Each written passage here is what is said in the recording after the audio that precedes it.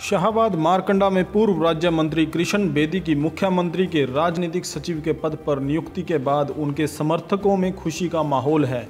और सुबह से ही उनके घर पर बधाई देने वालों का तांता लगा हुआ है।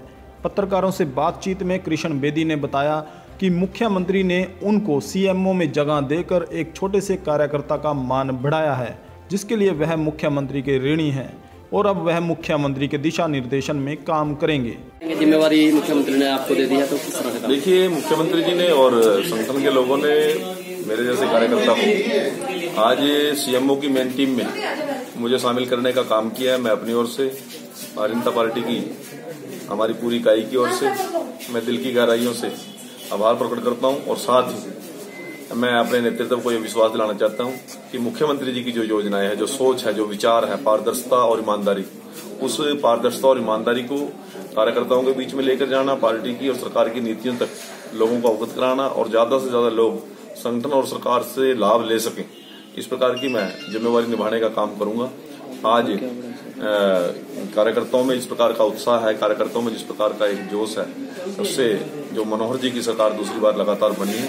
हमारी साढ़े तीन परसेंट से ज़्यादा वोट इस बार बढ़ी है।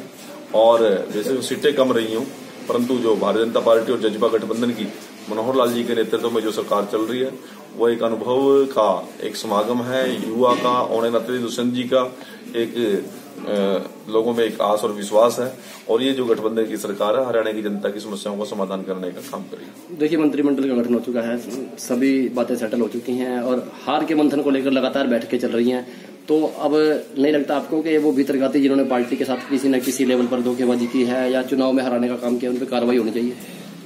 देखिए, पिछले दिनों दिल्ली के अंदर कोर ग्रुप की मीटिंग हुई। उसके बाद हमारे प्रदेश के प्रमुख लोगों की ड्यूटी लगाई थी नब्बे नब्बे विधानसभा क्षेत्रों में जाकर फीडबैक लेकर आने। जो लोग चुनाव लड़े हैं, जिन लोगों ने चुनाव में काम किया है और जिन लोगों ने पार्टी संगठन को बढ़ाने का काम किया, उन सभी से फीडबैक हमने ले लिया और गुरुग्राम की मीटिंग के अंदर सभी कार्यकर्ताओं ने वो फीडबैक दे भी दिए।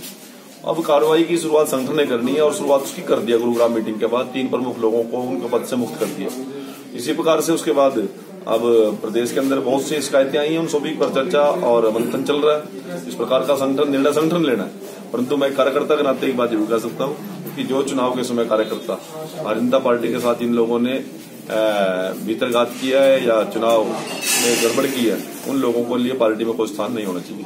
ओके।